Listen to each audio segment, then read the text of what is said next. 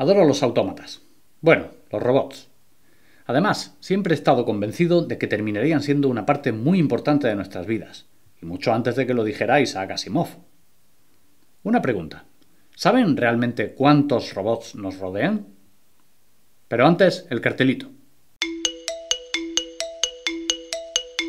Hace un par de años se elaboró un censo de robots. El resultado, más de mil millones de robots operativos en todo el planeta. En algunos sectores industriales, como el automovilístico, casi toda la actividad está robotizada, y algo parecido ocurre con la industria electrodoméstica e incluso con la química. Muchos robots nos sustituyen en tareas peligrosas como en la desactivación de explosivos, el rastreo de víctimas en catástrofes o la limpieza de vertidos tóxicos. Además, los robots nos permiten explorar científicamente entornos vedados para el ser humano, como los fondos abisales, los glaciares árticos o los volcanes en actividad. También el espacio ha sido frecuentado por los robots, fundamentales en la exploración de Marte o en la Estación Espacial Internacional.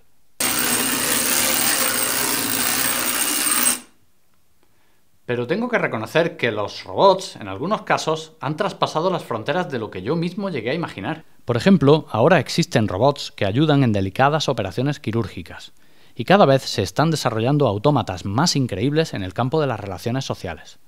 Son los llamados robots de compañía, diseñados para ayudar a personas con movilidad reducida o con dificultad en la visión, para avisar en caso de emergencia o para realizar las tareas del hogar.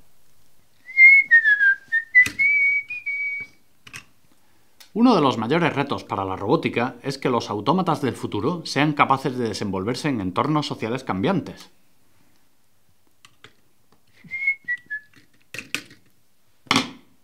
¡Hala!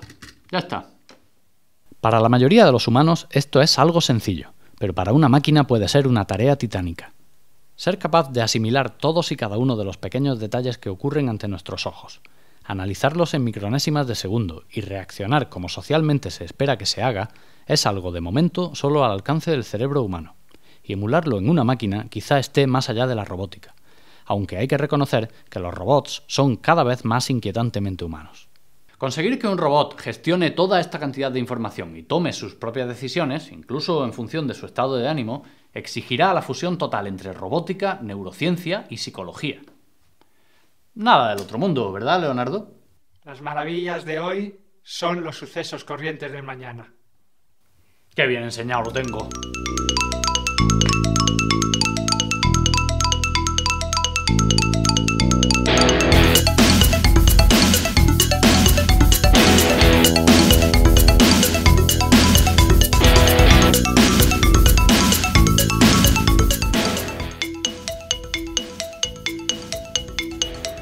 Maravilloso.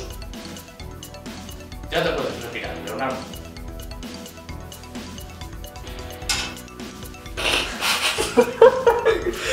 ¡Corte! ¡Leonardo! ¡Vino, por favor!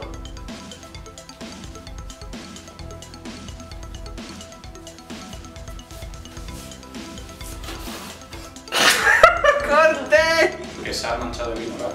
¿Sí? ¿Sí? No jodas. Da igual, solo en la camisa de mi boda. Pero a mí lo único que me interesa es... No, pero ten en cuenta que no se ve, ¿no?